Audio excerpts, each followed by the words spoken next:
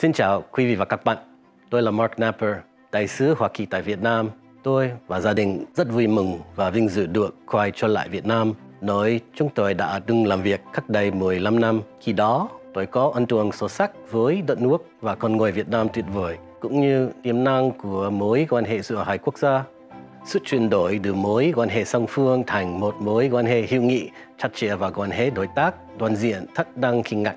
Tôi vinh dự được Tổng thống Biden trao cơ hội quay trở lại Việt Nam và tiếp tục công việc quan trọng mà hai quốc gia chúng ta đang cùng nhau thực hiện, đồng thời phát huy hơn nữa những nỗ lực của rất nhiều người dân ở cả hai quốc gia chúng ta.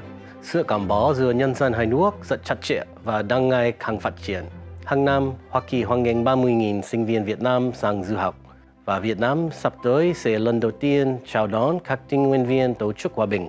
Những thách thức do đại dịch toàn cầu gây ra chỉ đưa hai quốc gia xích lại gần nhau hơn khi chúng ta hỗ trợ lẫn nhau trong những lúc khó khăn. Chúng ta đang hợp tác cùng nhau để giải quyết các vấn đề còn tồn lại sau chiến tranh một cách có trách nhiệm, mở rộng thương mại song phương, duy trì hòa bình và ổn định khu vực và bảo vệ môi trường cũng như tài nguyên phong phú dồi dào của chúng ta.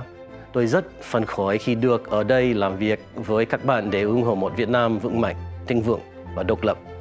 Xin cảm ơn quý vị và các bạn.